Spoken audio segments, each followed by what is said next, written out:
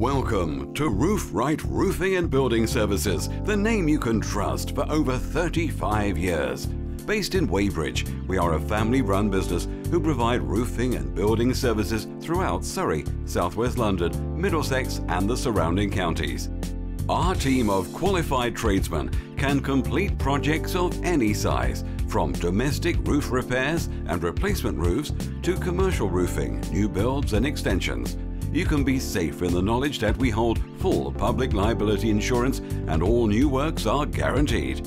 We adopt a professional approach to all aspects of our work and we pride ourselves on being able to complete projects on time and of course on budget.